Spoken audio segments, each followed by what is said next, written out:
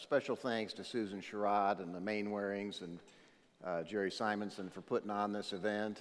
Um, it's just fantastic to see so many old friends and get a chance to rub elbows with the scientific dignitaries that are here, so that's great. Um, real quick before starting, I wanted to give everybody an update on Eduardo Cardona. Uh, I called him the day I left uh, for the conference to see how he was doing. He's about halfway through his uh, chemo and radiation treatments for um, uh, lung cancer right now. And uh, the very first words out of his mouth were, say, make sure and say thanks to everybody at the conference for me if you would. So that's what I'm doing. And uh, he seems to be doing great. He's very positive. Um, so hopefully he's uh, going to have many more years to finish up his uh, volumes that are in the wings. Uh, just real briefly, um, I first became interested in this subject matter uh, while I was in college. Uh, one of my professors had a complete uh, 10 series of Pensée magazine. And uh, so I read that and got kind of interested in the, um, the spectacle of a maverick scholar taking on establishment science. And so um, I eventually got the Kronos Journal and um, Velikovsky Reconsidered.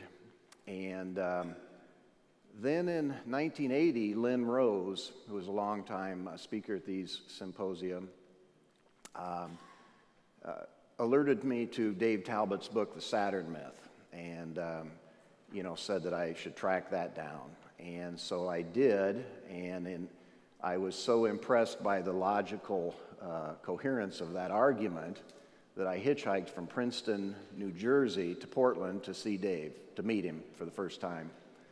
And uh, we've essentially been friends ever since. That was 1981. And um, in the early 80s, uh, we published a series of articles together for Kronos magazine uh, on the comet Venus. And um, then in 1988, Dave started the journal Aeon. And so I, I was kind of his right hand man on that journal for many years. And um, then um, Eduardo joined us. And so, you know, we had that together for about 20 years. And so, um, basically, it's become my life's work. Um, I would say that the of the many great insights in the Saturn myth, the one that stood out to me was the idea that creation was something that human beings actually experienced and witnessed up close and personal. And so that's kind of the, um, that's the subject matter of my talk here today.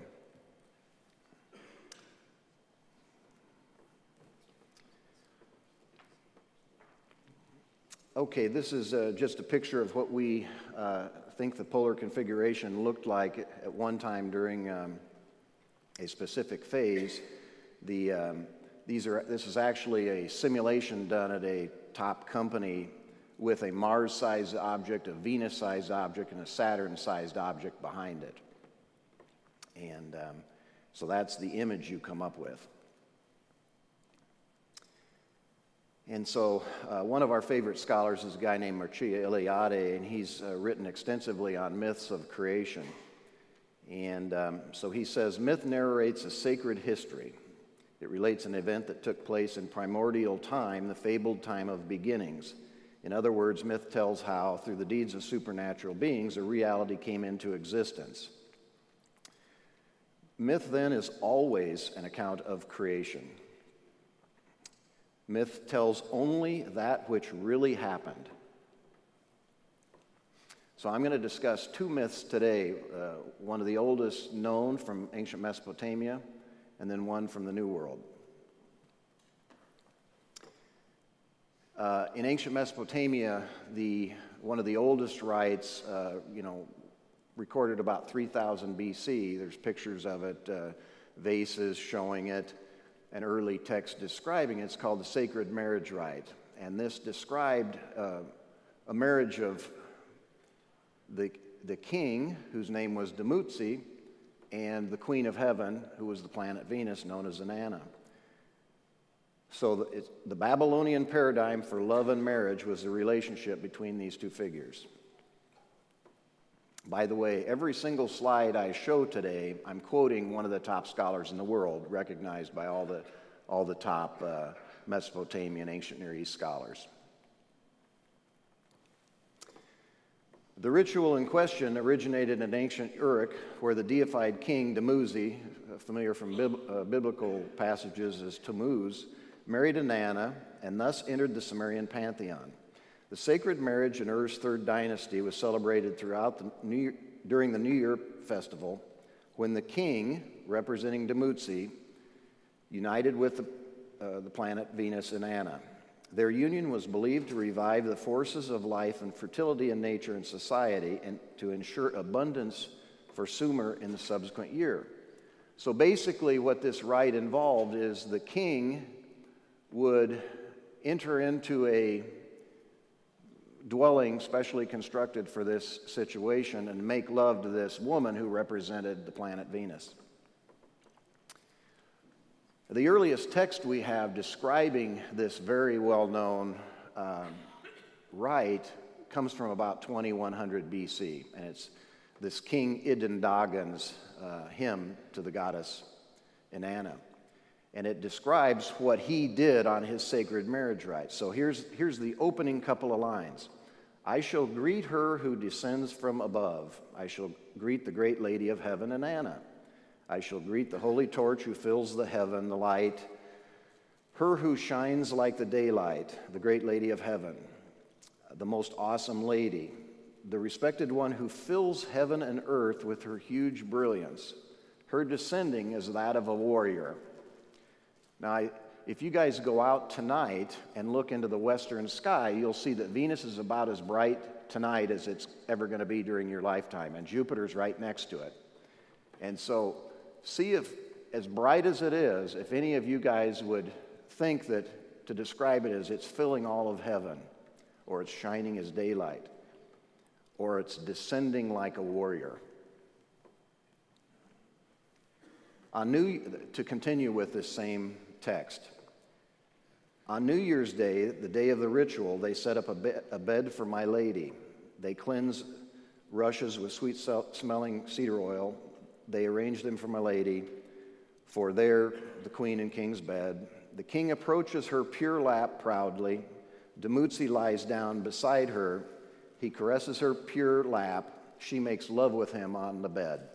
Again, this is a Sumerian text. This is not some scholar, and it's certainly not me. This is the, the Sumerian king himself writing these words. After the union is completed, Inanna rises from the king's lap, and immediately flax rose up with her, the barley rose up with her. The steppe had been filled with abundance, like a blossoming garden. And so now this is the top scholar in uh, Sumerian studies today. He says quite a few sources indicate that through the performance of this rite, ritual great abundance immediately followed.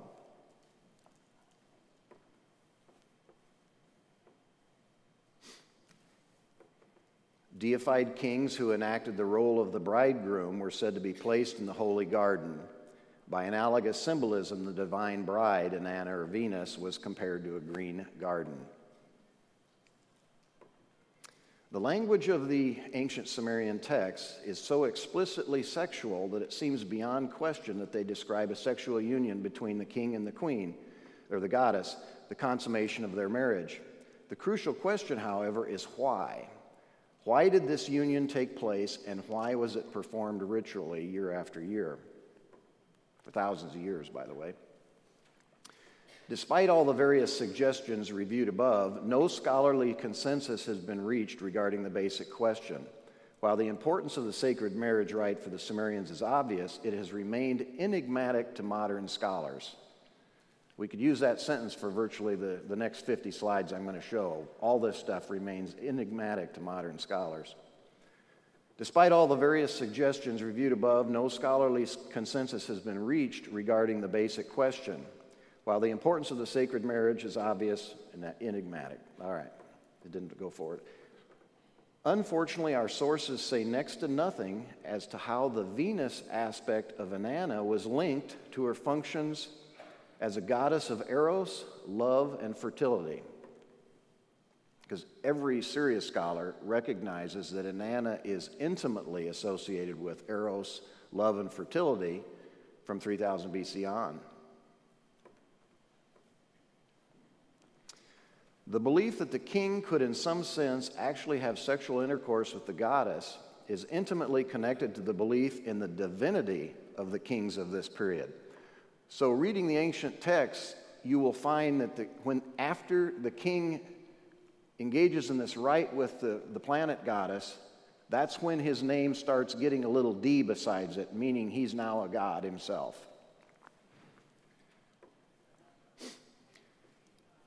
Uh, Samuel Kramer, one of the top scholars in uh, Mesopotamian studies, um, discovered a very obscure text that has hardly gotten any attention um, from the other authorities, and it, it describes Inanna um, taking Dumuzi up to heaven with him, with her, and placing him as a star alongside her.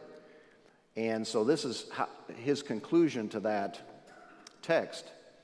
Since, as is well known, the king of Sumer, as the husband of Inanna, was identified with Dumuzi, it may be to judge from this ancient text that there was current in Sumer a theological tenet that the king upon his death was turned into a heavenly star situated close to the Venus star Inanna.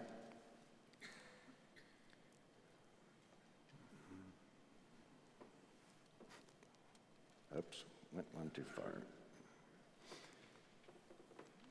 Okay, this is a guy named Wolfgang Heimpel at the University of California, and this is how he, he wrote the definitive article on uh, Sumerian mythology for the standard encyclopedia in the field. While the fragmentary nature of our knowledge of Mesopotamian culture does not allow us to exclude the existence of astral allegorization among Babylonians, the plots of the myths provide clear evidence that the primary concern of myth was with the great stages of human life and that astral connections and allegorization cannot have shaped the myths in any significant way. A more erroneous view could hardly be imagined. But that's, that's the standard current opinion.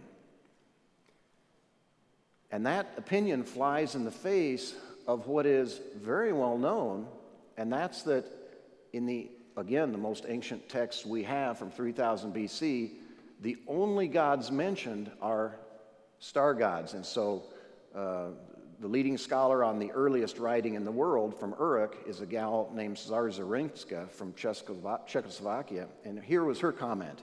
In the most archaic period, the determinative dingir, which is actually a star, was associated with astral deities only. So the, the leading gods of the time, like Inanna, they would always have this little star besides their name uh, identifying them as a star. So, how do you reconcile that with the previous comment from Wolfgang Heimpel that all these myths describing these figures have nothing to do with stars or planets? So, uh, you know, we've worked in this area for 30 some years now, and you're always trying to come up with a argument showing these guys wrong because they're never going to listen uh, no matter how many articles you write. So you want to you want to come up with an argument that kind of draws attention. And so, um, a couple years ago, I stumbled across a myth from the New World here in America, from the Pawnee, um, and they lived around Nebraska on the Great Plains. And uh, towards the end of the 19th century, um, the anthropologists, just as the tribe was basically dwindling down to nothing, the anthropologists started uh, visiting them and recorded their sacred myths. And so that's what, that's what we're going to move to now. So it says, No other primitive people has such an extensive and accurate record of its myths, tales, and legends as the North American Indian. The peoples of ancient, these are, they're talking about the Aztecs now, but it's applicable to the Pawnee as well, as we'll see. The peoples of ancient Mesopotamia keenly observed the sky and used the calendar to predict solar and lunar eclipses, the cycles of the planet Venus, the apparent movements of the constellations and other celestial events. To, to them, these occurrences were not the mechanical movements of innate celestial bodies, but they constituted the activities of the gods. the actual recapitulation of mythical events from the time of creation.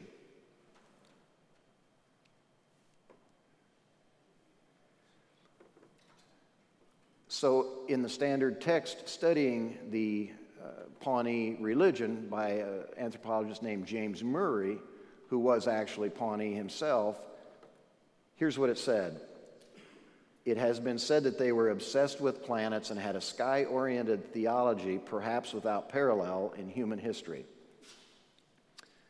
And the Skidi creation myth, which we're going to come back to again and again, summarized in one sentence by a top scholar, it says, The morning star married the evening star. That's their creation myth. So back to Murie. This is what he said about those two figures. The first one he placed in the heavens was the morning star. He was to be dressed like a warrior and painted all over with red dust. Through him, people were to be created, and he would demand of the people a human sacrifice. This was the planet Mars, or the god of war. The second, the second figure involved, the evening star, the second god placed in the heavens, known to the white people as Venus. She was a beautiful woman. Through this star and morning star, all things were created. She is the mother of the Skidi, Pawnee. Through her, it is possible for people to increase, reproduce, and crops to mature. She's the, the planet Venus is the source of fertility. This is a, another scholar's summary of, this, of the creation myth of the Pawnee. In the creation story, fruitfulness and light had come into the world because Morning Star, the planet Mars, and his realm of light had conquered and mated with Evening Star, the planet Venus, in her realm of darkness.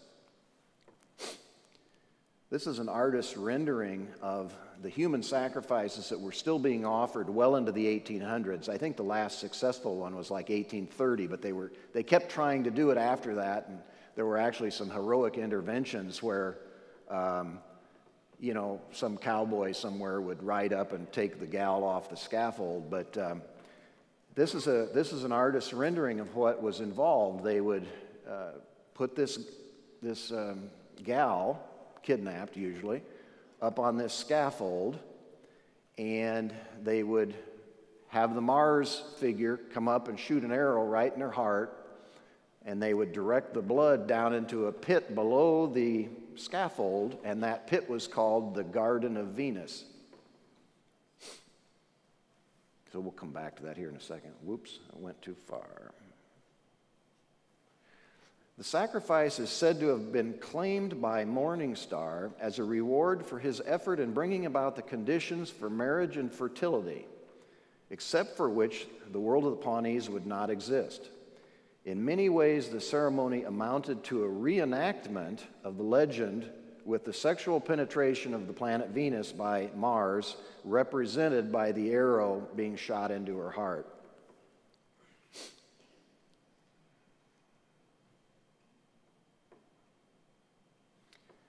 The sacrifice as a whole must be considered as a ritual dramatization of the overcoming of Evening Star by the Morning Star and their subsequent connection from which sprang all life on earth.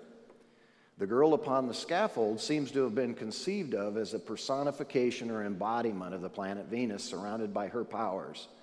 When she was overcome, the life of the earth was renewed, ensuring universal fertility and increase. Where have we heard that before? Virtually the exact same sentences from ancient Mesopotamia, involving the exact same planet, the planet Venus. Back to the human sacrifice. The pit below the, where the blood was directed symbolized the garden of the evening star from which all life originates. Again, I'm just citing anthropologists. This has nothing, these are, these are top scholars. This isn't uh, me filling in the details here, writing over them, substituting words. Um, in theory, the Skidi Pawnee ceremonies all have as their object the performance either through drama or through ritual of the acts which were performed in the mythological age. The ritual is a formal method of restating the acts of the supernatural beings in early times, in this case, the planet Mars, the planet Venus. So, this is back to the original scholar cited, uh, Eliade again, and he's summarizing rituals all around the, the earth. And he goes, Every ritual has a divine model and archetype.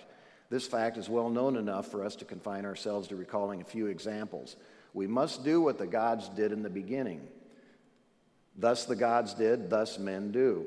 This theory, this Indian adage summarizes all the theory underlying rituals in all countries. To summarize the Skidi Pawnee myth, then, I'm just going to throw three different sentences that we've read already together. They're by three different authorities. But the first one, the morning star married the evening star. The second one, all things were created through sexual union between the planet Mars and Venus. And three, with their sexual union, the life of the earth was renewed, bringing universal fertility and increase. Comparing that now to what we learned from Mesopotamia, the first sentence describes the king's union with the goddess Inanna resulted in her granting a favorable promise of fertility and abundance for the land and its inhabitants. Second sentence Inanna's character is a goddess of fertility who brings about intercourse between the sexes, is also manifested in numerous other sources. Finally, as the Skidi held that all life originated from Venus's sacred garden, so too did the Sumerians deem the planet Venus to be a garden like matrix and the divine source of all life. And the divine source of all life is in quotes because that was an epithet associated with the planet Venus. Okay, just briefly now, I'll touch on Greek myth since that might be more familiar to some of you guys. Uh, this is one of my favorite pictures uh, very early on of uh, Aphrodite. So, Aphrodite was invoked as follows Blessed Queen of Heaven, celestial Venus, who at the time of the first creation coupled the sexes in mutual love. Pindar, Bill Mullen's favorite writer, describes Aphrodite as mother of loves in the sky, Aphrodite. Moving now to a top, a top modern scholar whose book just came out, the artistic evidence makes it abundantly clear that Aphrodite is a sine qua non of the wedding ritual.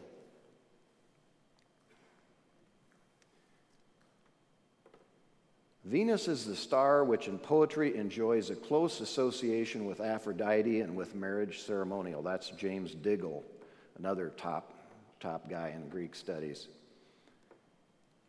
The final sentence there is from Euripides. We sing the heavenly daughter of Zeus, the mother of loves, Aphrodite, who brings nuptials, weddings to maidens. Walter Burkert arguably the top Greek scholar in the world today. Admittedly, the connection between Ares and Aphrodite is firmly rooted in cult and myth. Uh, Ares is well known to be the husband of Aphrodite in numerous Greek sources. This, this just came out here in the last couple years. Uh, the top Greek guy at Harvard, Gregory Nagy, put out a book discussing Sappho's poems. Sappho wrote about um, 700 BC. And here's what it says In the wedding songs of Sappho, the god Ares is the model for the bridegroom, who is explicitly described as equal to Ares. That leads us to the question of who might that bride be?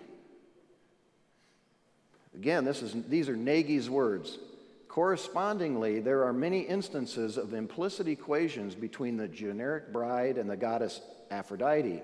In Sappho Song 112, for example, the bridegroom is said to be infused with the divine charisma of Aphrodite, evidently by way of his direct contact with the bride.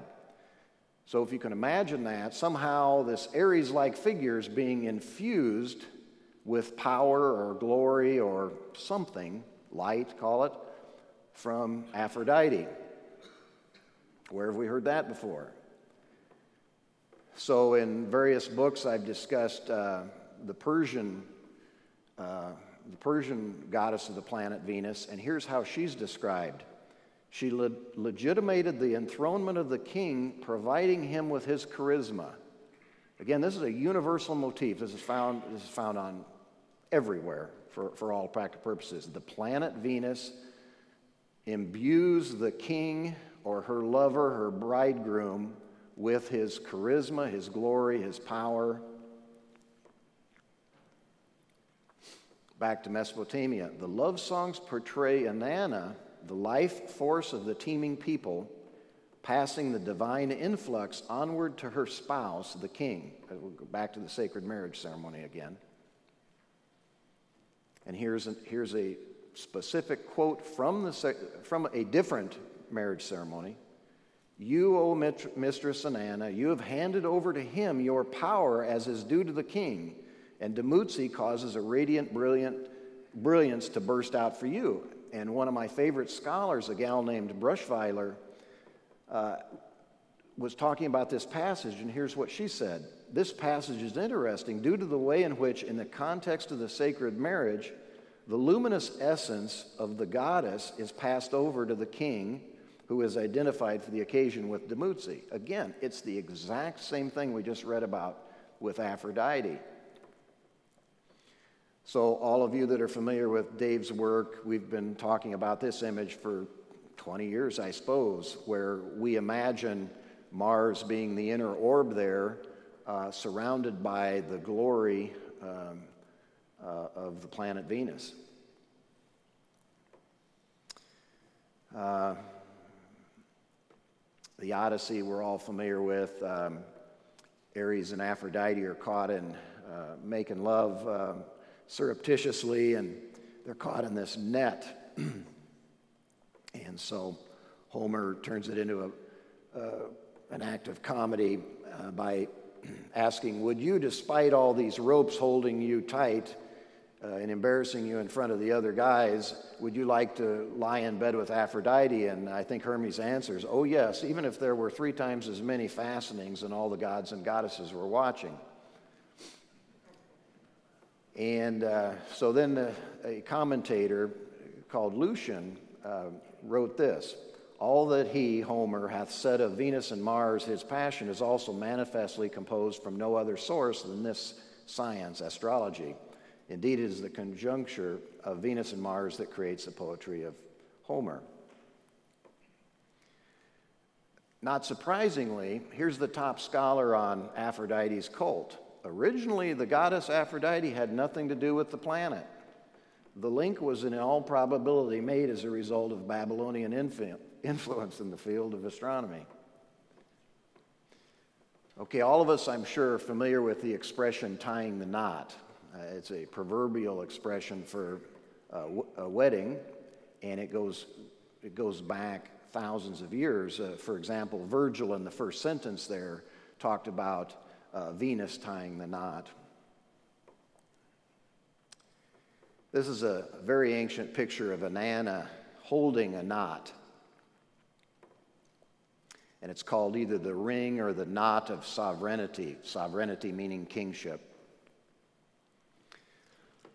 Again, back to a top scholar talking about uh, Ishtar's mythology. Many astral motifs, in fact, are attested Ishtar's elevation tells us that the, the god An married her on the urging of the gods and asked her to hold and rule the Tai, Riksu. Uh, tai also means knot. Another recent text found Ishtar as the planet Venus described as Kisru. The word Kisru, however, means a knot or a meteor like object.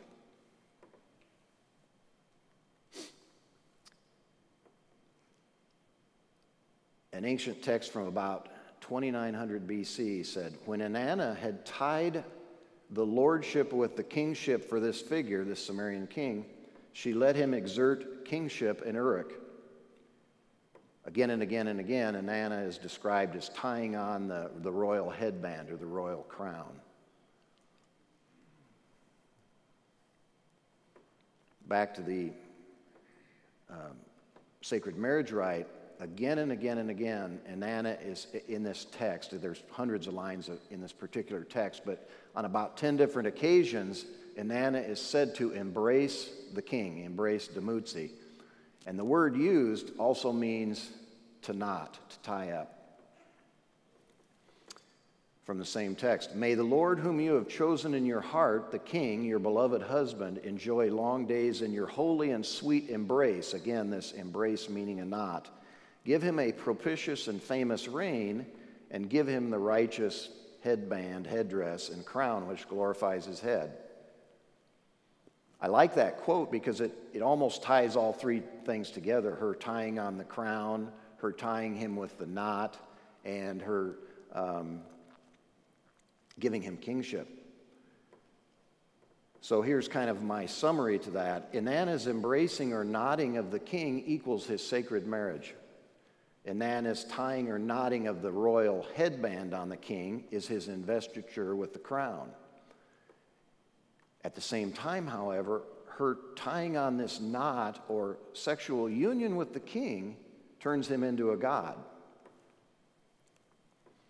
So here's another familiar sign that Dave and I have used hundreds of times. Back to again Inanna's knot that symbolized kingship. This is the same sign or a, an analogous sign, I guess would be the better way to put it, from ancient Egypt, where there it's the goddess that hands the king this shen bond or shen knot, quote, thereby legitimizing his crown and sovereignty. Does that look familiar? And finally, I'd like to just discuss in passing the greening of the world because it's so important to this sacred marriage that's always associated with fertility. Why would they associate the planet Venus with causing fertility everywhere? Here's back to the sacred marriage theme the holy embrace, fresh fruits and shoots as she rises from the king's embrace.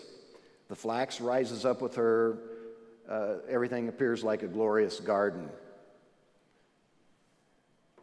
So here's what we think things looked like. There was actually a greening of the sky associated with this conjunction. That's where this fertility motif comes from. And again and again and again, you will read that the heavens became greened. Back to the sacred marriage. Of the royal bed on where this marriage was performed, it was called G I R I N, Girin. The word itself means blossoming, fruitful, shining. So the king again and again is invoked as long may he live on the flowered throne. One of the most ancient symbols of Inanna from, again, prehistoric times was the rosette, this figure here, an eight, eightfold flower like star. Again, back to one of the top scholars in the world. Another early symbol refers to Inanna the rosette, which somehow was connected with the sign for star. Already in 1922, uh, Deimel proposed their common origin. My own preliminary investigation of this connection is that the rosette is meant to represent the flower, the earthly counterpart of the star. Evidently, he was unaware that this uh, pictograph is found all around the world. This is an example from Ireland. So, to take away from this, uh, this speech in summary, um, I would emphasize that uh, creation was something actually witnessed uh, in prehistoric times. They were extraordinary celestial events involving the planets, witnessed by people all around the globe. Um, the sacred marriage rite uh, commemorated the historical planetary conjunction between prototypical male and female powers. The greening of the world equals a specific phase in the unfolding of the polar configuration. Again, we'll be describing this, I'm sure, for the next 20 years with thousands of parallels. It's so obvious, it's unbelievable. No one's ever seen this before, so far as I'm aware. The garden itself, associated with the planet Venus, was a celestial place, a celestial structure associated with the prototypical sexual act between Mars and Venus. Is it any wonder that flowers to this day are still associated with marriage? Or that rings or bands are still associated with marriage?